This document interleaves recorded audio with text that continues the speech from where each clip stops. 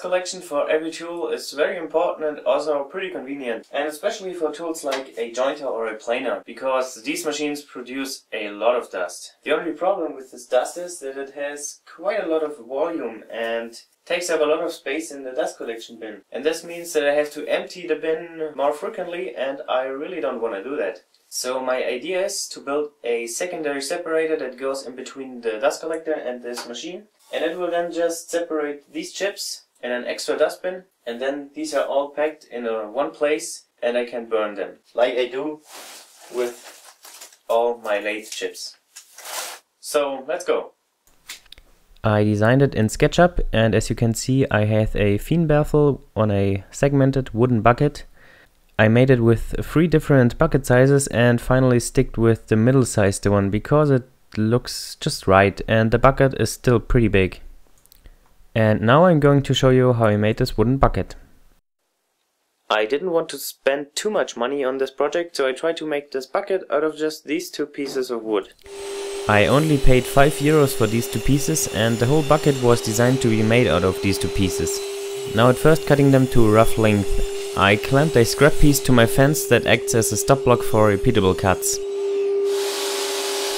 Next making one side straight on the jointer.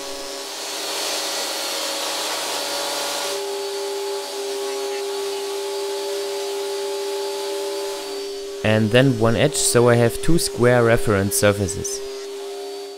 Then preparing the bandsaw for resawing, which includes just a crappy feather board.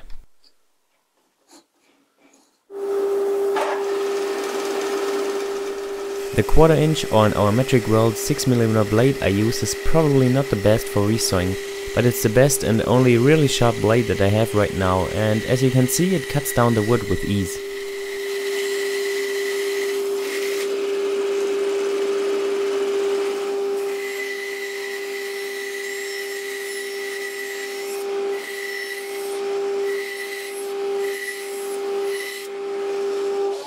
After the first resaw pass, I jointed one side again, and then resawing a second time.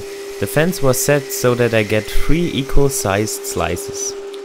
I got all the pieces cut and the leftover ones that are too thin and one of them lost a knot so I still have 24 pieces enough for the bucket. Now I'm gonna plane them all to a consistent thickness. Thanks for jointing in between resawing, I now only have to plane once.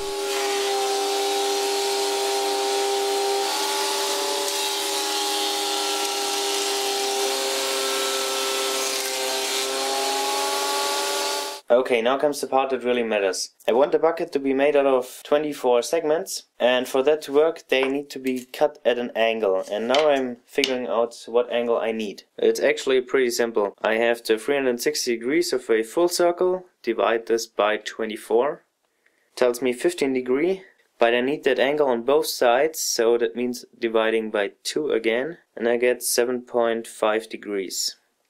I try to set my really not so good table saw as close as possible to that angle.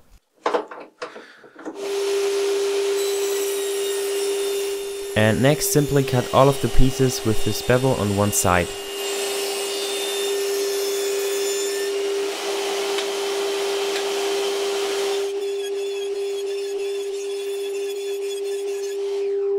So before I cut the other bevel, it is really critical how far the fence is from the blade, because the width of the strips determines the diameter of the bucket. To set the fence right, I made a test cut in scrap and then measured the gap. Then adjusting and repeating this until the fence had the right distance and cut the other side of all of the pieces.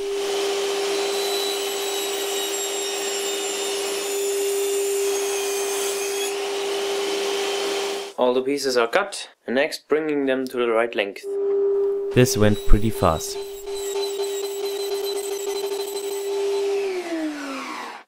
Then I prepared some strips of tape with the sticky side facing up on my bench. And then putting all of the strips one after the other onto the tape. In theory you do that and then can roll the whole thing up into a nice cylinder, but as you can see not all works perfectly on the first try.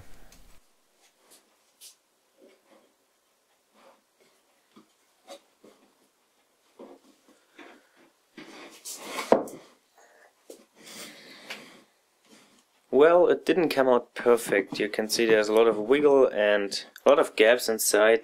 But screwing up on a 24 segmented circle is not too hard. Just imagine if I'm just off about a tenth of a degree, that adds up 48 times because I cut 48 times. So a tenth of a degree off means I'm totally about 4.8 degree off. But I was shooting for a diameter of 35 centimeters 35 and 35.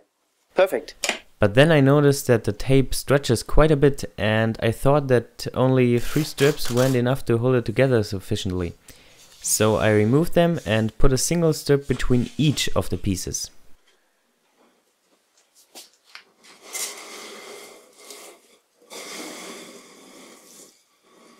Oh yeah, that's actually better than before.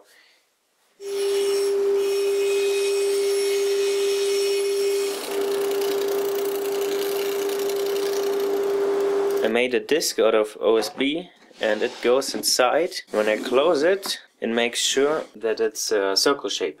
I laid it out again and prepared three band clamps and the disc, so I'm ready for the glue up. Because this is quite a big glue up, I didn't have time to get many different camera angles. I also was a little bit afraid of it collapsing while I set it up, because I only had this one try.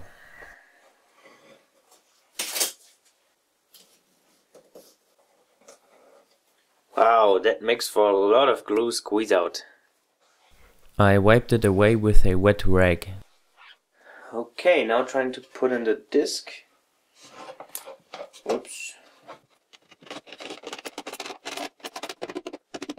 I think I have to remove this disc in about one or two minutes, because otherwise the glue will stick to it and the disc will stay in there. So I have to work fast again.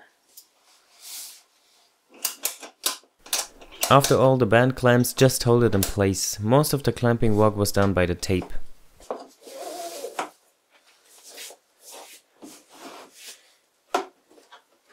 So now I just let it dry overnight.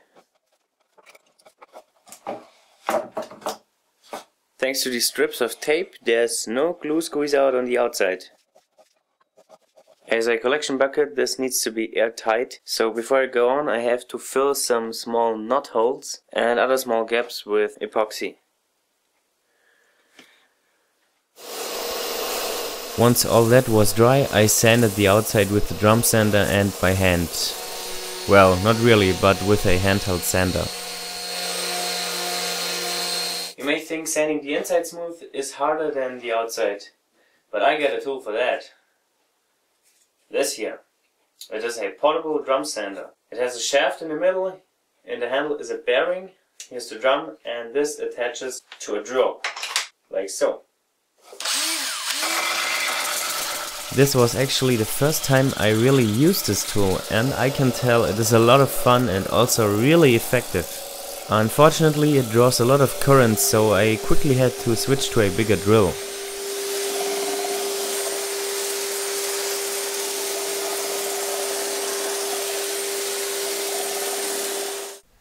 Next this bucket needs a bottom and a rim that keep the circle shape and provide more rigidity. I used 12mm or half inch Baltic birch for that. I cut out the circle on the bandsaw and sanded three flat spots onto the edge. You will see why I made this later on.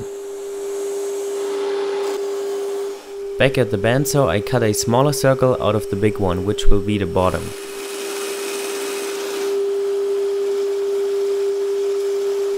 And because I still need the bigger one as the rim, I re-glued it with a strip that's the thickness of the bandsaw kerf. Okay, now I got the rim and the bottom out of this one disc. This is the leftover. Oh yeah, the rim has the snug fit I was shooting for. Great. And the bottom has an interesting fit.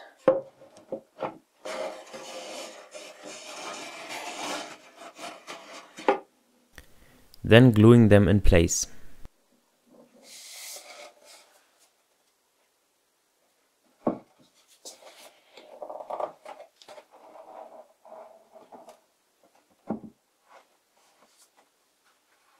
Because the bucket wall is segmented and the bottom is perfectly round, I ended up with a lot of gaps around here. And I need to fill them because this whole bucket needs to be airtight. I did this by filling them with a mixture of bandsaw dust and glue.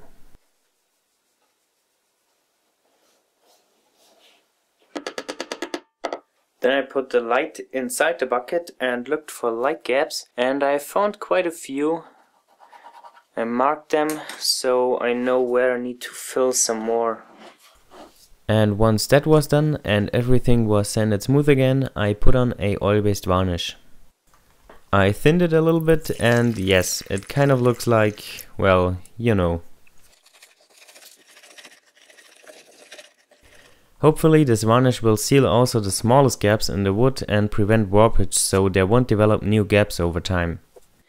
Now it's the next day, but the varnish is not fully cured yet and I also need to put on a second coat of this oil-based varnish. But now that I know the inside diameter of it, I can work on the Thien baffle part of this chip separator. But I will do that in my next video.